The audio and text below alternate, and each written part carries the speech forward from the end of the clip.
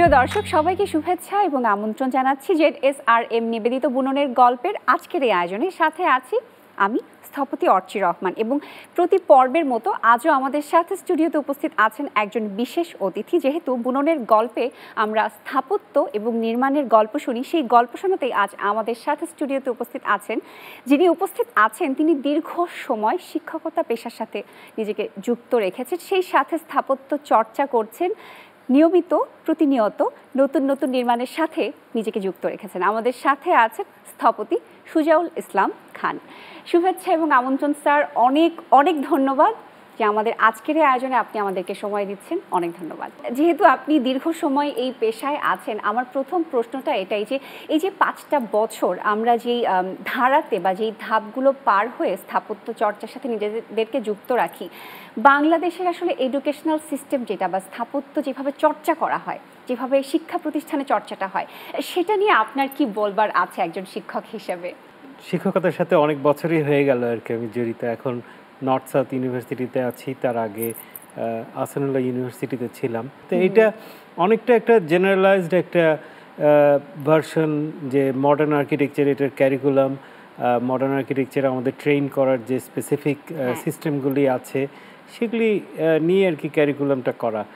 এখন মোটামুটি এইভাবেই শিক্ষা দেওয়া হয় যেন একটা একজন আর্কিটেক্ট হিসেবে প্র্যাকটিক্যাল লাইফে যে প্রজেক্টগুলি করতে হয় খুব ছোট একটা বাসা বা একটা ইন্টেরিয়র সেখান থেকে শুরু করে একটা বড় হসপিটাল বা একটা বড় হোটেল কমপ্লেক্স যেন একটা স্টুডেন্ট নিয়ে চিন্তা করতে পারে বা যেটা যেন হ্যান্ডেল করতে পারে।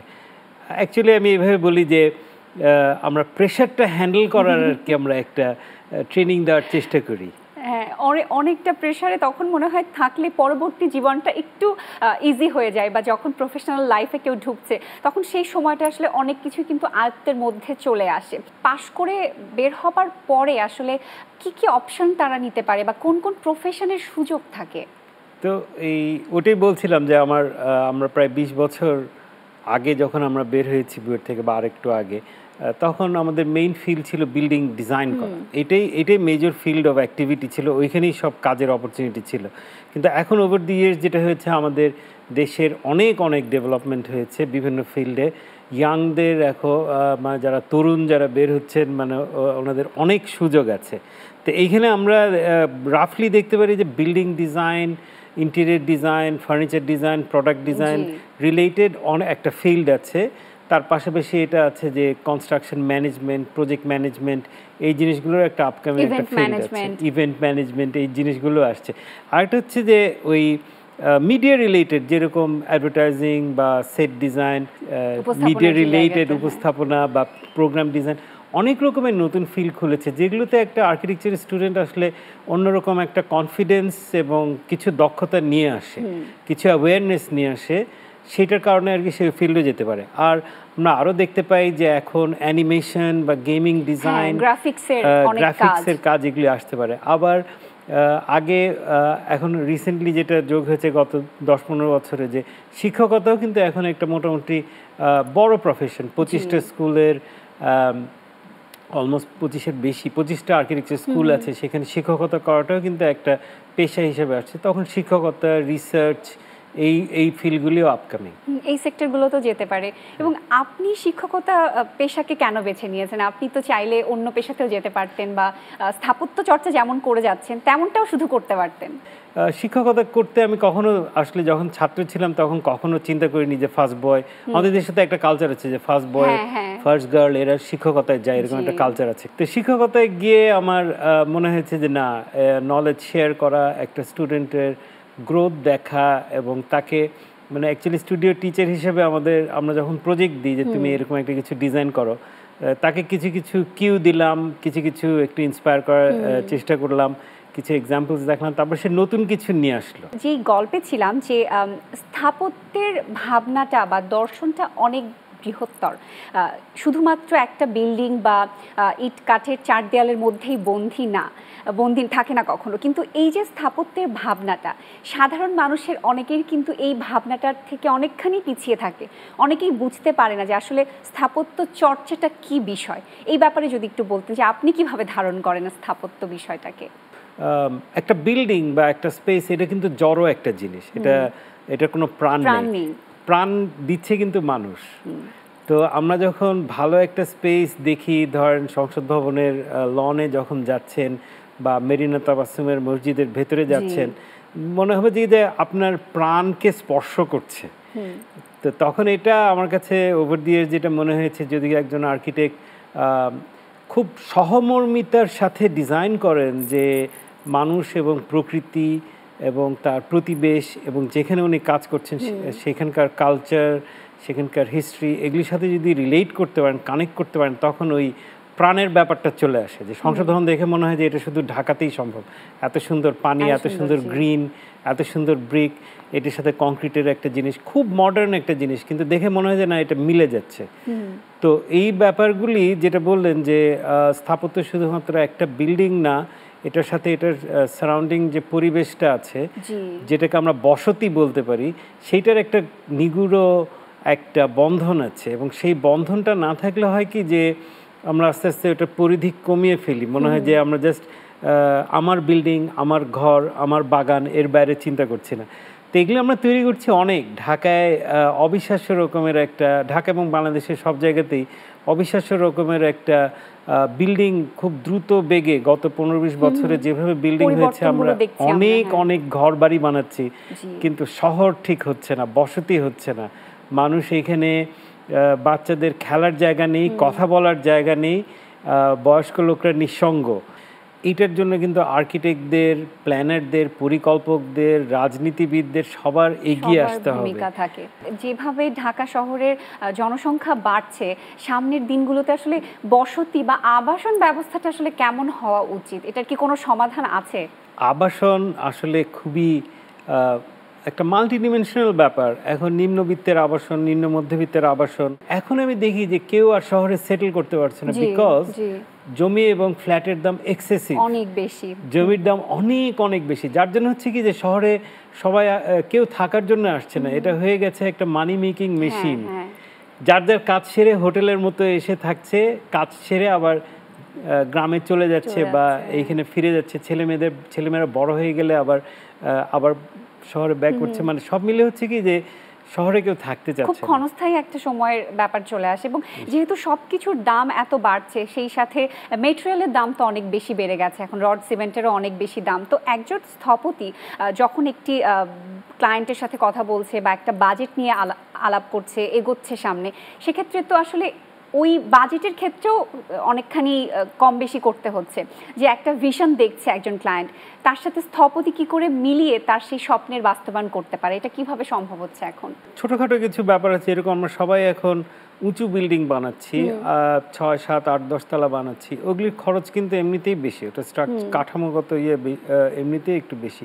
তো একজন আর্কিটেক্ট ডেফিনেটলি একজন ক্লায়েন্টকে খুব সুন্দর করে গাইড করতে পারেন হ্যাঁ। যে এক্সপেন্সিভ ফিনিশ মেটেরিয়াল ইউজ না করে একটা ভালো নিরাপদ একটা কাঠামোর বিল্ডিং তৈরি করা তার সাথে কিছু ইউজেবল স্পেস দেওয়া অনেকভাবে একজন আর্কিটেক্ট আসলে কন্ট্রিবিউট করতে পারেন একটা বিল্ডিংয়ের কস্ট কমানোর জন্য। এবং আমি আমার ক্লায়েন্টদেরকে বলি যে আপনার আপনার বাজেটের চেয়ে বড় ইস্যু হলো আপনার রুচি। আপনার রুচি এবং আমার উপরে আমাদের উপরে যদি ভরসা রাখেন আস্থা রাখেন তাহলে হয়তো একটু কম বাজেটেও সুন্দর ইয়ে আনতে পারি। বাট সবার ক্লায়েন্ট সব ক্লায়েন্টেরই একটা আকাঙ্ক্ষা থাকে। সেটাও সেটাও বোঝাটা খুব জরুরি। ক্লায়েন্টের ডিমান্ডের সাথে আসলে একজন স্থপতির নিজের যে ভিশনটা আছে বা নিজের যে স্বপ্নটা আছে সেটার বাস্তবায়ন করতে গেলে আসলে কতটুকু স্বাধীনভাবে একজন স্থপতি কাজ করতে পারে? এইটা হলো কপালের ব্যাপার। যদি ভালো ক্লায়েন্ট মানে এইটা এইটা আসলে এটা একটা লাখের ব্যাপার। মানে আসলে ব্যাপারটা এরকম হয় যে খুব কম ক্লায়েন্টই আছেন যে এই ব্যাপারটা বোঝে যে আমি একটা আর্কিটেক্টকে অনেক ফ্রিডম দিলে সে একটা ভালো কাজ নিয়ে আসবে। আচ্ছা। আর তার সলিউশনটা ফুল প্রুফ হবে না।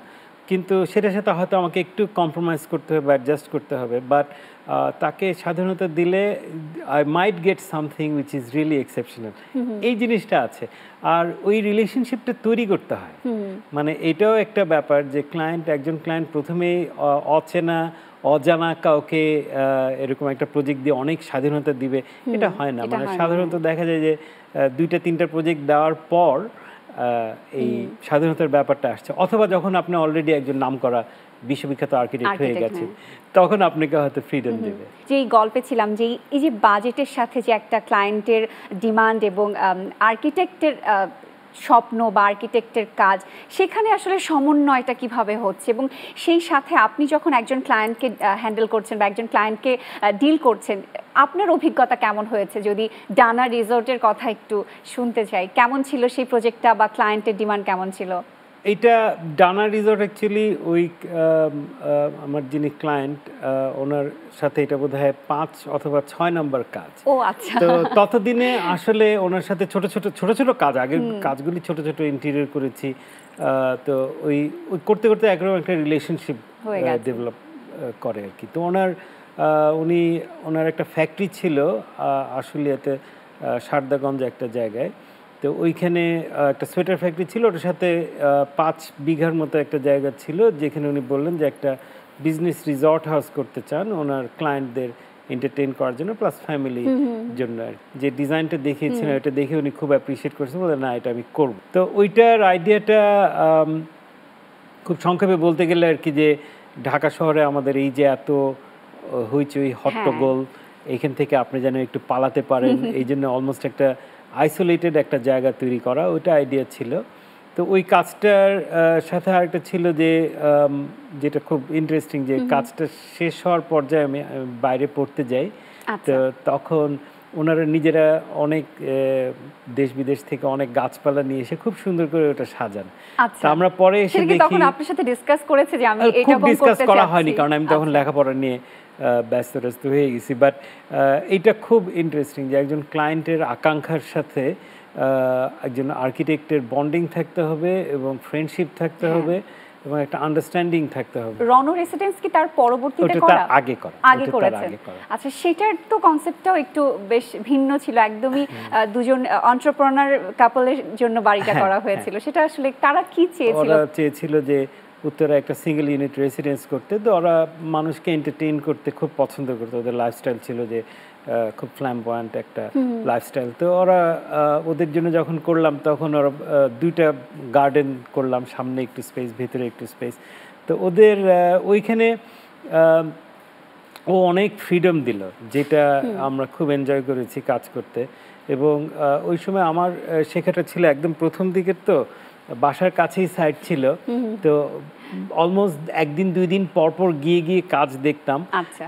এবং তখন কাজ অনসাইট চেঞ্জ করতাম। তো একজন আর্কিটেক্টের ক্ষেত্রে এটা খুব জরুরি মনে এটা এই লার্নিংটা বা আন্ডারস্ট্যান্ডিংটা এটা খুব জরুরি যে সাইটে গিয়ে রিয়েল স্কেলে একটা কাজ করা মিস্ত্রিদের সাথে নিয়ে কাজ করা মানে সব কিছুর মধ্যে সমন্বয় করা। মানে একজন আর্কিটেক্ট আসলে অনেকগুলি জিনিসকে সমন্বয় করার চেষ্টা করেন আর কি।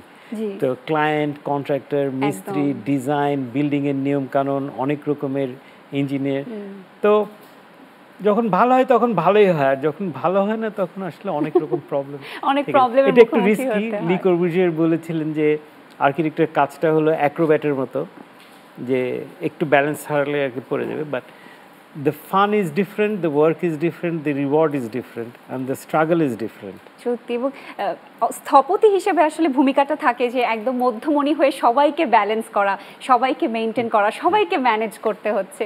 এই মুহূর্তে আসলে আর কি কি কাজ নিয়ে ব্যস্ততা চলছে বা কোন প্রজেক্টের পরিকল্পনা হচ্ছে? থ্যাংক ইউ একটা স্কুল একটা স্কুল করার একটা স্কুলের একটা কাজ করছি একটা স্কুল বিল্ডিং এর আচ্ছা। কেরানীগঞ্জে একটা স্কুল দেখা যাক এটা কতদূর যেতে পারি। এই যে এটা আপনি বলছিলেন যে একজন স্থপতিকে একজনের অনুভূতির কথা ভেবেও সেই স্থাপত্য নির্মাণের কাজ করতে হচ্ছে। এই যে সৃষ্টির যে একটা আনন্দ বা একটা ক্লায়েন্টের মনের মতো একটা প্রজেক্ট যখন আপনি কমপ্লিট করে তাকে হ্যান্ড ওভার করে দিচ্ছেন সেই আনন্দটা আপনাকে কি করে আসলে অভিভূত করে বা আপনার কেমন লাগে? অনেক রকম কমপ্লিমেন্ট পাই তখন মনে হয় যে না আসলে খুব একটা ভুল করিনি আর্কিটেক্ট হয়ে কাজ করে বা শিখে।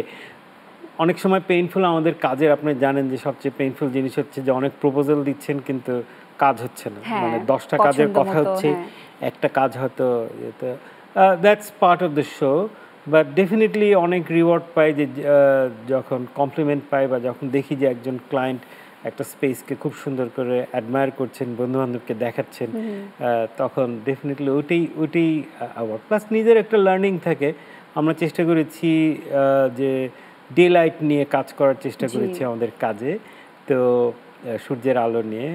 তো ইন্টারেস্টিং তবে লার্নিং কার্ভটা অনেক। মানে এইটা আপনি যদি এই প্রফেশনে প্রফেশনে ভালো করতে চান তাহলে লম্বা লম্বা রেসের ঘোরা হতে হবে। যে ধরে নিতে হবে যে বিশ বছর লাগবে খুব ভালো করে আসলে একটা কিছু শিখে করতে। এই গল্পে গল্পে আসলে আয়োজনের একেবারেই শেষের দিকে চলে এসেছি। যেহেতু আয়োজন শেষ করব আমি এই শেষ প্রশ্নটি রাখতে চাই যে তরুণ যারা আসলে স্থপতি হতে চায় বা হয়তো স্বপ্ন দেখেছে সে ভালো ছবি আঁকে এখন সে স্থপতি স্থাপত্য চর্চায় পড়ালেখা করবে বা স্থাপত্য চর্চা নিয়েই সামনে এগোবে তার জন্য আসলে আপনার কি উপদেশ আছে বা কি বলার আছে?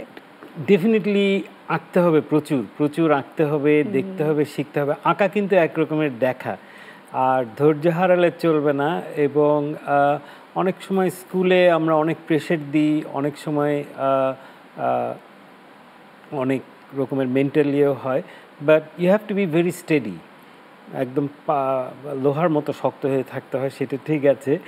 আর অনেক রকমের ফিল্ড আছে অ্যালাইড যেরকম প্রজেক্ট ম্যানেজমেন্ট কেউ যদি আর্কিটেক্ট মানে কিন্তু আমার কাছে মনে হচ্ছে যে যে শুধু ডিজাইন করতে পারবে লুইকানের মতো ডেফিনেটলি লুই কান আর কি। কিন্তু ধরেন যে যে খুব ভালো করে একটা কাজ অর্গানাইজ করতে পারবে একটা ক্লায়েন্টকে অন টাইম অন বাজেট একটা কাজ শেষ করে দিতে পারবে তার রোলটা কিন্তু লুইকানের চেয়ে খুব কম না।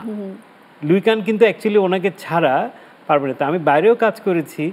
আমি দেখেছি যে দারুণ টিম ওয়ার্কের একটা খুব জরুরি। খুব জরুরি যেখানে বিভিন্ন রকমের ইন্টারেস্টের লোক আছে এবং একজন আরেকজনকে ভীষণভাবে সাপোর্ট করছে। তা আমাদের দেশ ডেভেলপিং দেশ আমাদের এখানে অনেক কাজ হচ্ছে বড় বড়। সেই কাজগুলিতে এই যে সমন্বয় প্রজেক্ট ম্যানেজমেন্ট এটার সাথে এবং ক্রিয়েটিভিটি সবকিছু মিলিয়ে আর কি কাজ করার সুযোগ আরও অনেক আসছে। আসছে এবং অনেক পরিশ্রমী হতে হবে ধৈর্য ধরতে হবে এটাই আসলে মূল মন্ত্র কাজের। স্যার আপনাকে অনেক ধন্যবাদ জানাচ্ছি এবং অনেক শুভকামনা জানাচ্ছি আমাদের আজকের এই আয়োজনে আসবার জন্য। তোমাকেও অসংখ্য ধন্যবাদ আমাকে আসতে বলার জন্য। ধন্যবাদ। শুভকামনা থাকল দর্শকদের। প্রিয় দর্শক আজকের মতো বিদায় নিচ্ছি জেড এস আর এম নিবেদিত বুননের গল্প থেকে আগামীর পর্বে। আবারও দেখা হবে নতুন স্থপতিকে সাথে নিয়ে। সে পর্যন্ত আপনারা সবাই ভালো থাকবেন সুন্দর থাকবেন সুস্থ থাকবেন যেখানেই থাকবেন নিরাপদে থাকবেন।